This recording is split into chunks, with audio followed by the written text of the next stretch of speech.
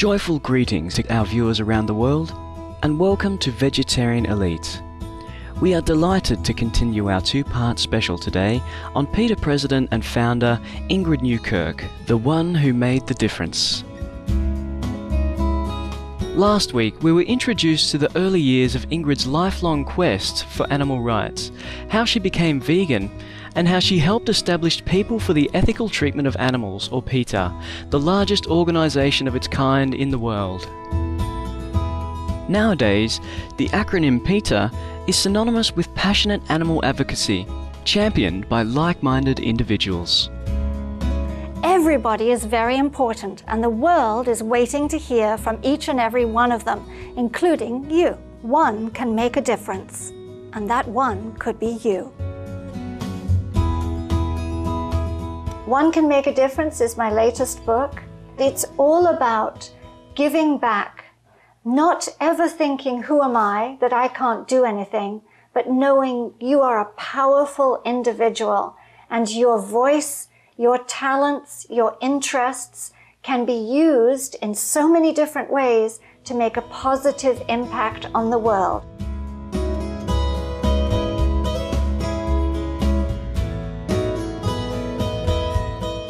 I've learned that someone who enjoys music or comedy, poetry and painting can use that talent to change people's moods and minds. I've also learned that people who love justice usually love justice for all, whether women, children, or animals. So in this book, you will find people who have rescued elephants from a life of drudgery in the circus, who stopped seals from being hurt on the ice a woman who started the first dog park, and an artist who would not let a little cat die stuck in a shaft in a building. One Can Make a Difference contains contributions from His Holiness the Dalai Lama, Paul and Stella McCartney, Willie Nelson, Brigitte Bardot, Wangari Maathai, Temple Grandin, Dr. Henry Heimlich, Russell Simmons, Helen Thomas, and dozens of other extraordinary individuals. You want to look back and say, I did this, I spoke up, I counted, I meant something in the world, and it's easy. Ingrid shares with us the excitement of her new book launch, One Can Make a Difference, as well as other projects that have raised the consciousness of how we view and treat our co inhabitants. I actually wrote a book called Making Kind Choices. That's the book that has everything that you can do to help animals, whether you are planting a window box or a garden, you are moving into a new flat or apartment or house, whether you are bringing an animal into the home, if you've just had a child, if you're retiring, it helps you outline all the kind choices that you have. And if everybody made kind choices, PETA wouldn't have to exist. We've always been taught we shouldn't discriminate against anybody based on their looks. If they're from another country, for example, or another color, we shouldn't be mean to them or decide that they're put here for our use. So the same is true with animals. Just because they're furry or cuddly or they have big eyes or they look like us, that shouldn't be the only criteria. The criteria should be, do they suffer? And can we avoid hurting them? We just have to get past this cultural insensitivity we have to the other animal nations. Nobel laureate Isaac Bashevis Singer once said, As long as people will shed the blood of innocent creatures, there can be no peace, no liberty, no harmony between people. Slaughter and justice cannot dwell together. Ingrid Newkirk has echoed this sentiment. US Congressman Dennis Kucinich introduces Ingrid on one of her missions.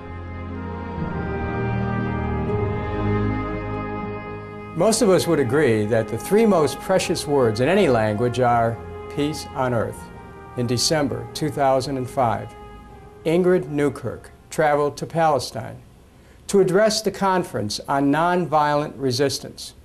Her message was that the principles of nonviolence require us to re examine our relationship with the animal nations. I hope her talk inspires in you a desire to help increase the sum total of peace on earth every single day of your life. Violence affects all walks of life, human and animal, and to allow one form of violence to exist while asking for the eradication of the other seems painfully hypocritical.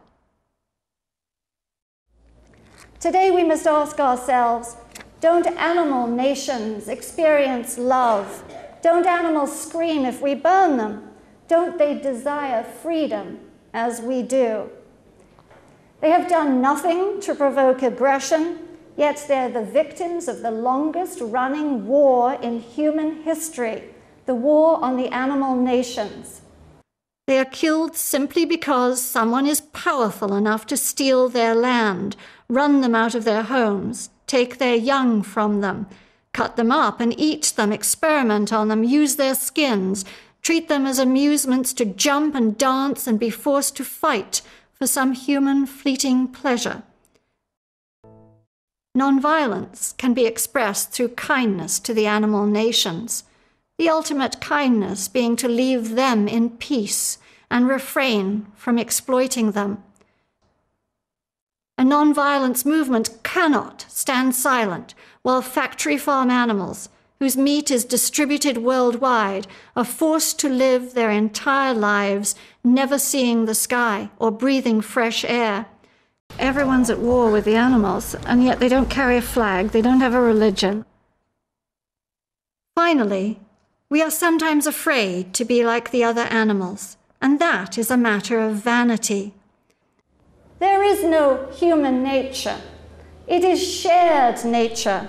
For all animals laugh and love and grieve and are lonely and feel pain and wish to be free.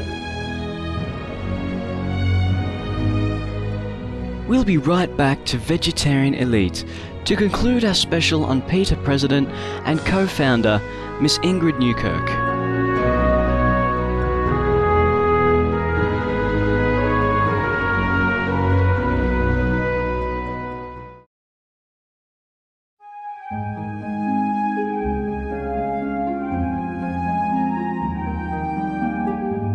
Welcome back to our program on Vegetarian Elite, PETA President and co founder Ingrid Newkirk, the one who made the difference.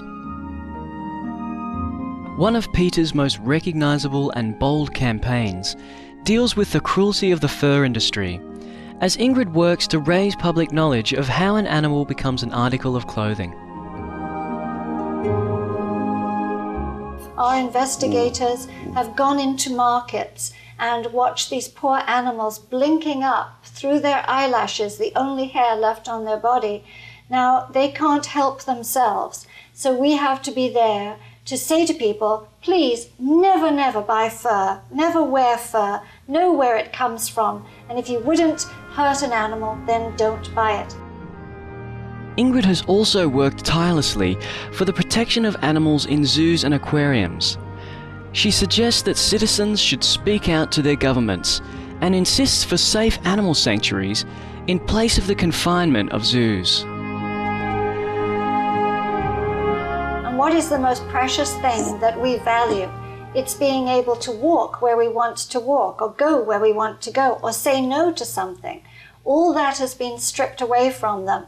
So here they are in a small, small space you imagine many of these animals walk for miles in nature, or birds like eagles soar uh, hundreds of feet high, and yet here they are caught in an aviary or a cage, a small enclosure, and they can't even choose their friends. Sometimes their family members are taken away from them and put into another zoo.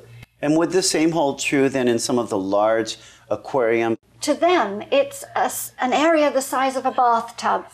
It's as if you were swimming around, you know, in a small swimming pool for your whole life. They go in the great oceans, thousands of miles. They migrate around the continents, many of these animals. And they have lives, real lives, and they have groups, but they can't do that in captivity. And Jacques Cousteau said that many of them, they have such depression that they bang their heads against the walls. So, what would you say to some people who will say, well, if we don't hunt and if we don't fish, our earth will become overpopulated? All the animals were here for many, many years before human beings were, but they didn't despoil it. They control their own populations. There's a, an incredible balance in nature. It's only we who come along and upset things and take animals and put them in cages and put them in sheds and start producing them so that we can eat them that ruins the balance of nature. They don't reproduce this way naturally. They don't grow this big naturally. They don't crowd together this way naturally. We are the despoilers. We should let nature and all its wonder exist and be in awe of it, not pervert it. With climate change and draining natural resources, we have a limited time to put things right with our world.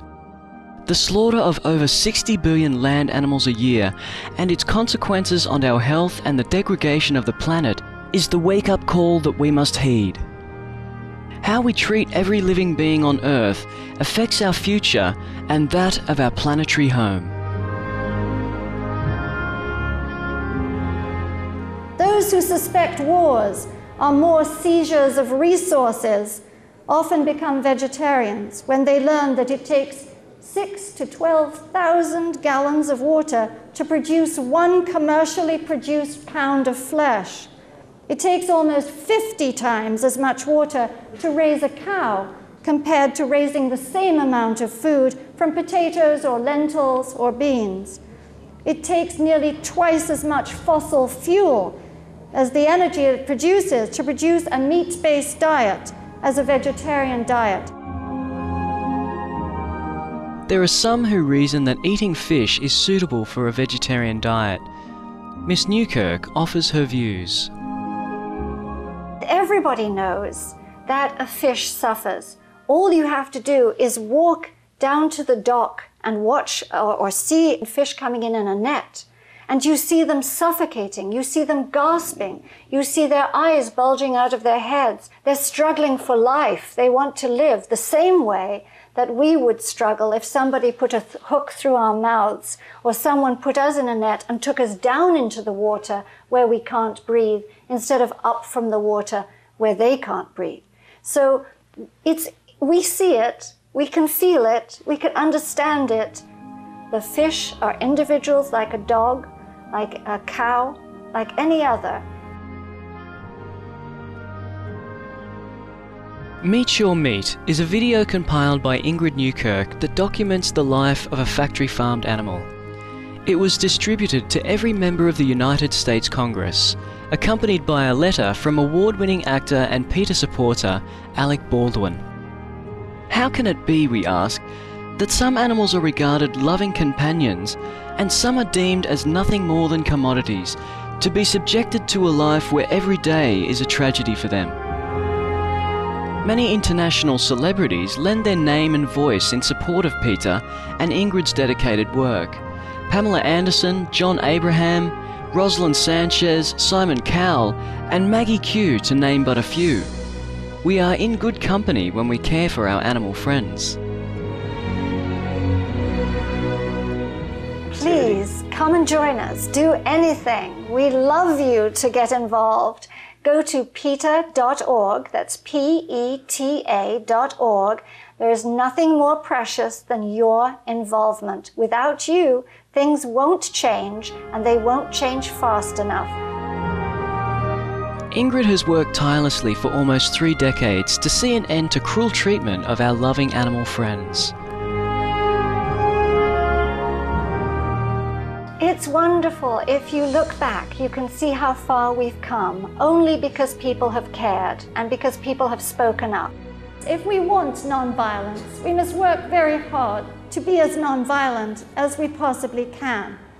It takes no more time to order the hummus sandwich or the steak sandwich. It's the same. We don't have to divert from anything else we do in our lives to incorporate nonviolence to the animal nations.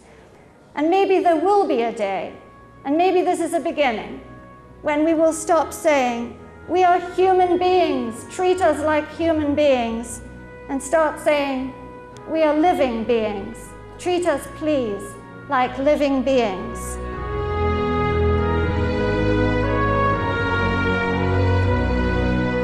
Our sincere gratitude and heaven's blessings to the incredible Miss Ingrid Newkirk for offering many people the knowledge to connect again with their compassionate hearts.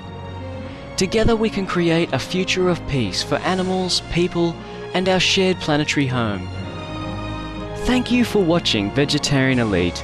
Please stay tuned for Between Master and Disciples here on Supreme Master Television.